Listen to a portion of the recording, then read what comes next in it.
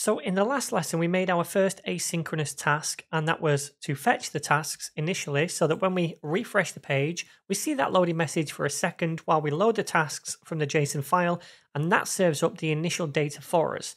Now, at the minute, if we toggle these favorites or even delete some of these and then refresh, none of those changes are persisted to that JSON file. So when we refresh, we're getting that initial data again. So what I'd like to do is make these other actions where we delete a task and also toggle a favorite asynchronous as well to update that JSON file. So we're persisting those changes.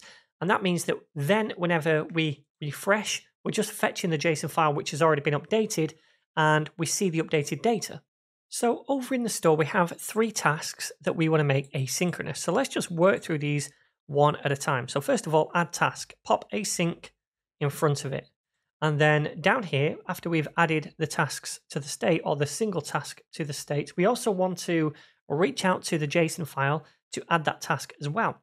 So we'll say const response is equal to await fetch. And then we want to put in the same endpoint right here, this thing. So let me copy that and paste it in here because we're making a post request to this endpoint. And then as a second argument, oops, that should be a comma, we need some options for this request because this is going to be a post request. So we need to say the method is post, like so. And also we need to send a body. And the body is just going to be the task, this thing right here, but it needs to be in JSON format. So we say JSON.stringify and then pass in the task like so. Okay. And then finally, we need one more, which is the headers. So let's say headers is going to be, and then it's content type that we want. So content hyphen type, and that's going to be application JSON. So application forward slash JSON like so. So that's making a post request to add this new task to the JSON. And that's pretty much all we need to do. But if there is an error, I want to log that to the console. So we'll say if response.error, then we'll output something to the console, console.log, and it's going to be response.error property. Okay, so that's pretty much it for add task. Now what I'm going to do is copy this bit of code and I'm going to paste it right down here for delete task. So we need to do a similar thing. First of all, we'll say async in front of delete task. And then the method this time is going to be delete.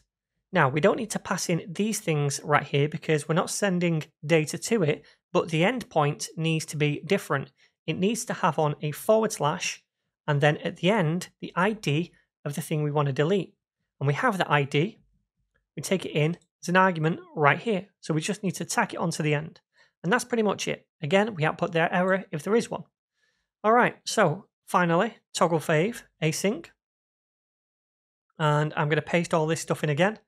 And this time it's going to be a patch request and json.stringify. Okay, so we need to basically pass in an object here with any of the properties we want to update. All we want to update is the is fave property. So we say the is fave property right here is going to be equal to task, oops, let's get this right, is fave. So it's equal to the task dot is fave property. And that's already been updated right here. So we've updated it and we're passing that updated value right here to update in the JSON file. We keep that in as well.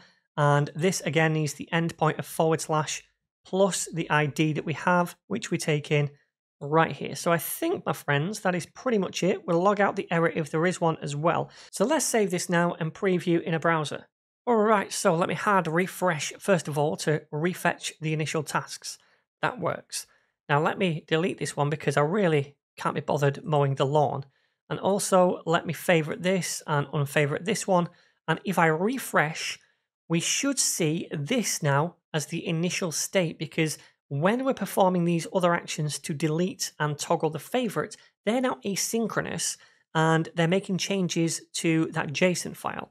So hopefully, fingers crossed, this is going to work. Refresh and voila, it does work. Let me hard refresh.